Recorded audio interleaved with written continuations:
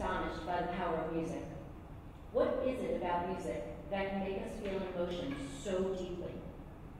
It can soothe us, energize us, and bring us together. Whether a community of friends or a nation of individuals. Music can spark memories and associations and enable us to revisit a moment in time and exactly how we felt at that moment. Music can make us react, and music can rally a cause.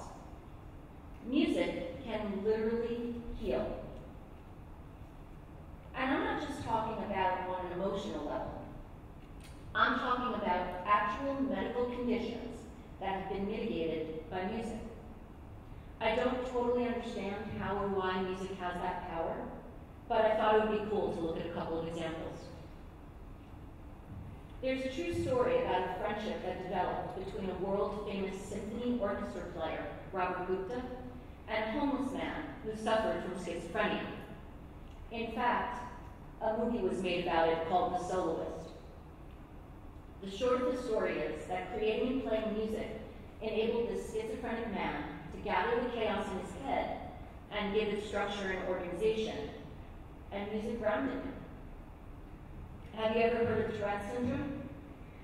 It's a neurological disorder that causes uncontrollable movement and speech. If you want to imagine a life with Tourette's, imagine how you feel when you have the hiccups and you can't make them stop. And now imagine you have them your entire life. Well, in this next example, a woman with Tourette syndrome discovered that her uncontrolled actions decreased in frequency and intensity when she listened to music. Even more remarkable, when she sings, and she's now an accomplished singer, they disappear completely.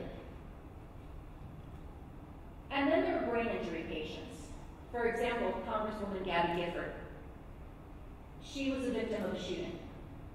And due to the brain trauma the Congresswoman suffered from her shooting injuries, she was no longer able to speak. But apparently, language and music reside in different parts of the brain. And so the hospital provided music therapy for Mrs. Gifford in the form of singing. And through music, the Congresswoman was able to relearn and recover the ability to talk. It's amazing. But perhaps you're thinking to yourself, well, these physiological cases seem like anomalies or outliers. Okay? So let's move instead to talking about your own experiences. Let's talk about how each one of you has potentially experienced the power of music. On a daily basis, your mood and behavior is impacted by music. You probably don't even acknowledge it for more than a moment, but it's there. Think about how one song on Spotify or Tunes Tuesday can totally change your mood, or spark a feeling, or a reaction. And that's just how music might impact you. What about how it impacts groups of people, communities, countries, even the world? I can still remember my senior year of high school, sitting outside on the steps with my friends, singing out loud to Twisted Sister's, We're Not Gonna Take It. To this day, when I hear that song, I get transported back to that moment. And amazingly, that song is still an anthem of rebellion for people 35 years later. And what about our national anthem? What is it about that line and that high note? The land of the free that collectively makes us clap and cheer. Is it just that we're impressed that the singer can hit that high note? Or is it more powerful than that? Is it that we have a moment of collectively feeling a part of something bigger and more important than just ourselves?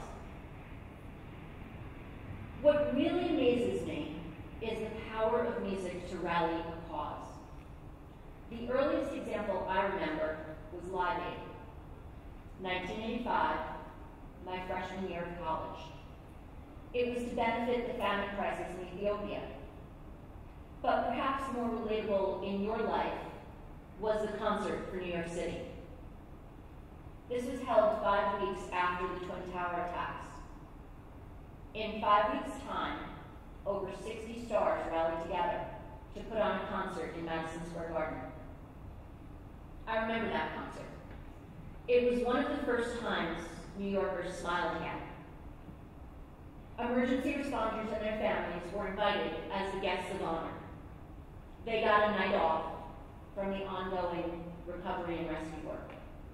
They sang and laughed and healed, if only for a few hours. That concert also happened to raise over $30 million for the victims' families. That's powerful. As a teacher, I often turn to music to save the day. Sometimes to settle class down feeling anxious or overwhelmed by impending AP season. Sometimes it's to bring energy to a class that's feeling unmotivated after five consecutive days of rain. And every time I play music in my room, that music creates a sense of community. I love listening as a class debates what song we should play. I hear students share individual memories that a particular song brings back. And many times, this leads students to share detail about themselves that they wouldn't otherwise think to share. But the song made it okay to do so. And nothing beats the moment when the selected song starts and the entire class begins to sing together. I have understood the power of music all my life, and yet its ability to soothe, invigorate, and bring together never loses its sense of wonder for me. I've often said in my next life, I want to be a rock star. Not for the reasons some of you might imagine. It's not the fame and fortune I seek. It is the magical ability of music to impact so many lives. That is my holy grail. Thank you.